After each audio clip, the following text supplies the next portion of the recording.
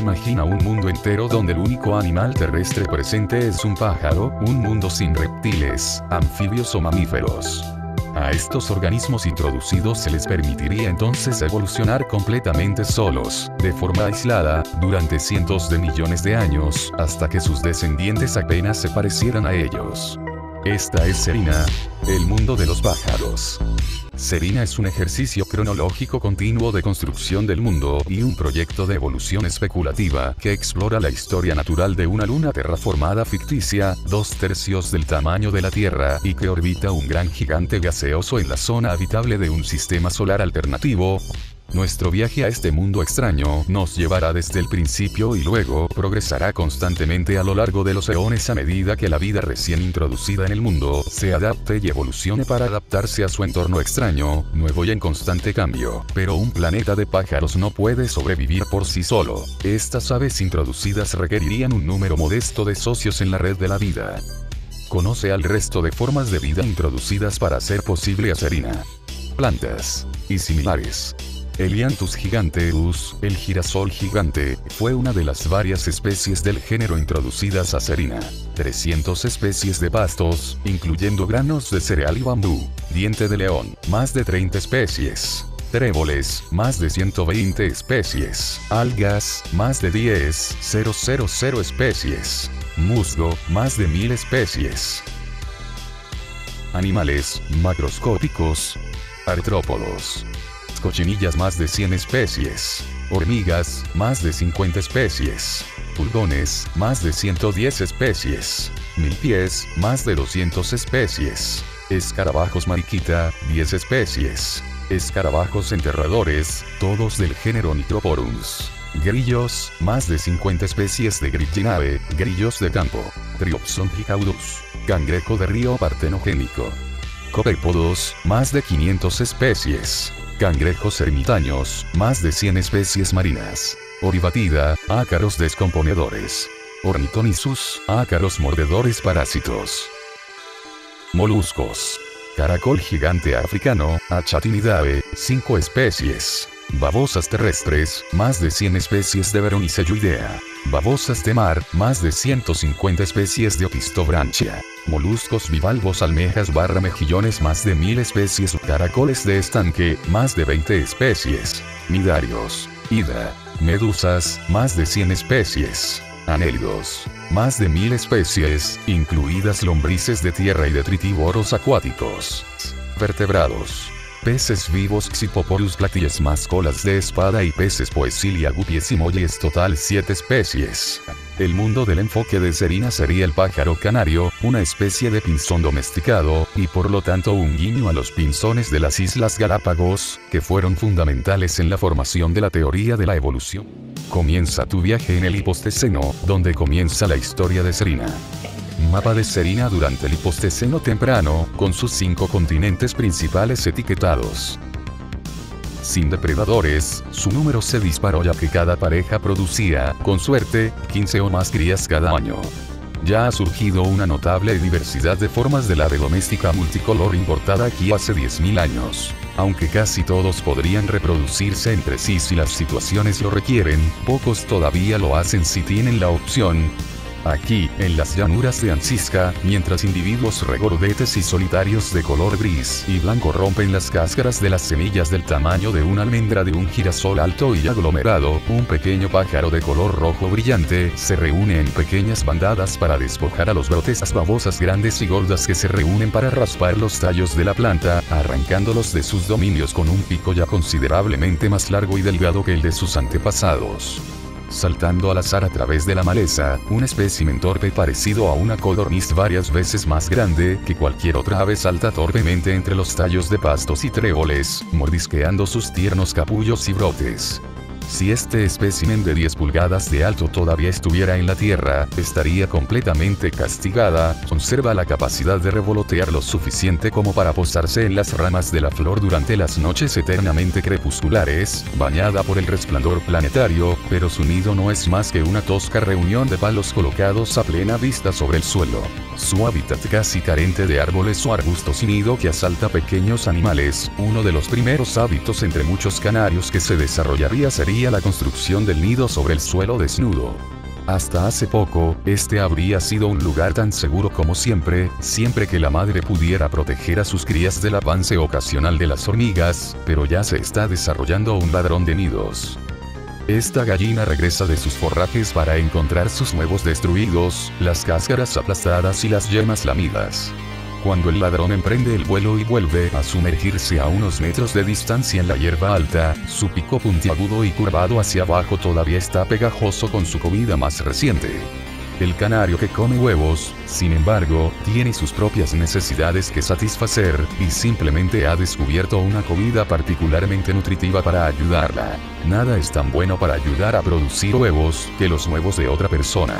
Los jóvenes de todos ya no estarán tan infaliblemente seguros. Los bosques de bambú se extienden de polo a polo en todas las masas de tierra, creciendo donde haya suficiente humedad para permitir sus increíbles tasas de crecimiento natural de hasta 34 pulgadas por día sin grandes herbívoros para comerlos, con un crecimiento de hasta 20 pulgadas de largo y un peso cercano a las 4 libras, los caracoles terrestres gigantes se convierten en los animales terrestres más grandes. Sin embargo, sus días están contados, ya que sus crías comienzan a ser presa de los canarios terrestres de pico más grande. Este es un periodo breve y fugaz de prosperidad para los caracoles, pero no uno que puede continuar para siempre.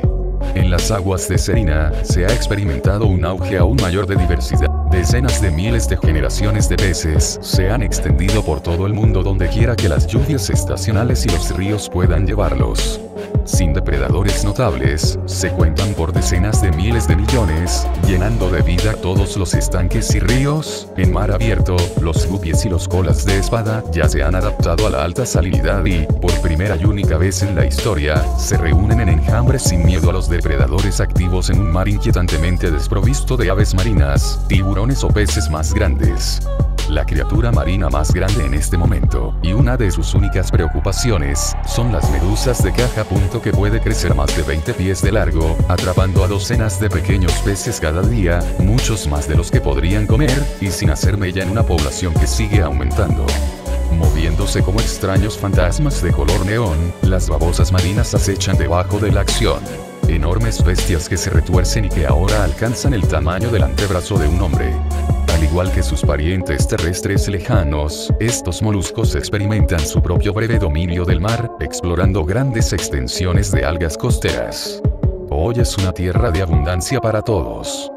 Un millón de años después del establecimiento, la vida está cambiando rápidamente ahora en Selina, por primera vez para sus habitantes aviares, comienzan a surgir depredadores notables.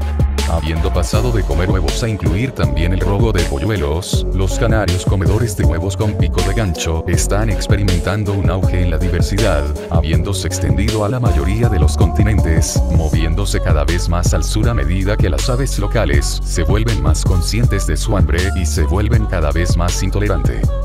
En los bosques de bambú, los caracoles comienzan a disminuir siguiendo la evolución de los primeros carnívoros sociales y altamente agresivos de Serina.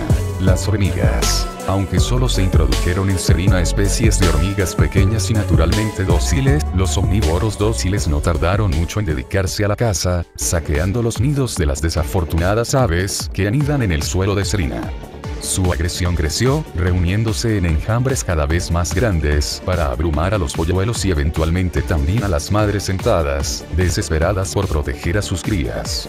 Sus mandíbulas se hicieron más grandes y poderosas a medida que varias especies comenzaron a desarrollar mordeduras punzantes venenosas. La primera ola de depredadores que golpeó a Serina sería quizás la peor, las hormigas imperiales.